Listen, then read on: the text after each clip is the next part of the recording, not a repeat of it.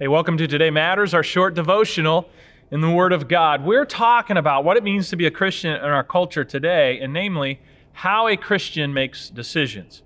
There are certain tests Christians should take before making major decisions. Why? Because as Christians, we are called to make decisions based on a higher standard than the world. See, we're either going to get our authority from the world or from the Word. So, First test was we said, what does God's word say? First, we always have to check with the word of God. What is he telling me? What does he say about this decision that I, I need to make? Secondly, we have to ask the question is, would I want everyone to know about it? Third question that we ask ourselves is, will it make me a better person? And last, uh, yesterday we talked about the fourth test, can it become addicting? We've walked through all four of those. If you've missed any devotional, want to encourage you to go back and check it out. Today, the fifth test is the question that you need to ask yourself. Test number five, very simply, is will it hurt others? I mean, how's it going to affect other people? One of the biggest mistakes that we make in life is we forget how much our actions influence and affect other people around us.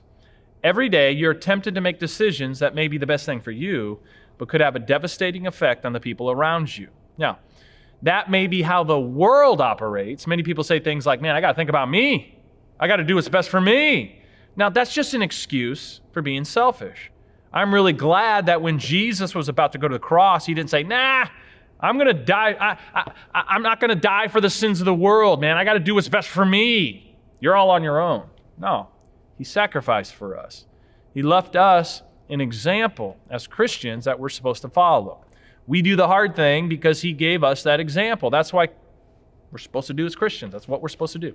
Before we make a big decision, we ask the question How is this going to affect others? Will this hurt other people? We have to think How is my decision going to affect other people? Very simply, right? God expects you to think of other people around you. The Bible says one day you're going to be judged by God on how your decisions affected other people. Not how they affected you, but how they affected other people. Now, listen to this verse in Romans chapter 14, verses 12 and 3 from the Living Bible. Listen to what it says. Each of us will give an account of himself to God. Try to live in such a way that you will never make your brother stumble by letting him see you doing something he thinks is wrong. Now, you may not like hearing this, but whether you like it or not, you're being watched. There is no such thing as all this affects is me. That's a lie. Everything you do has an effect on somebody else, either directly or indirectly. Those of you who are parents should be especially aware that little eyes are always watching you. Because of that, you want to be careful with what you say and do because you're influencing not just your life, but the next generation. And so realize that your children are watching. This test says how is what I'm about to do going to hurt somebody else? Is it going to hurt someone? How's it going to affect them? Even as a neighbor, you need to ask Am I a good neighbor to the people around me who live next door to me? People are watching you. Gonna, there's going to be times when, you know, in life, I mean, you're going to get a raw deal. Right? You're going to want to let people have it, teach them a lesson. But listen to me, don't do it.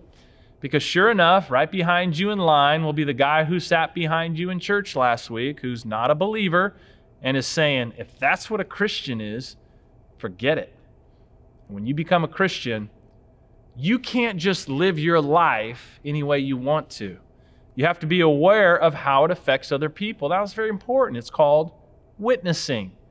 You witness not by wearing a shirt that says, I love Jesus, or by wearing a bumper sticker with a dove on it.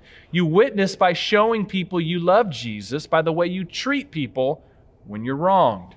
Let's take a look at Romans 15, verses 1 and 2 from the Living Bible. It says, Even if we believe that it makes no difference to the Lord whether we do these things, still we cannot just go ahead and do them to please ourselves.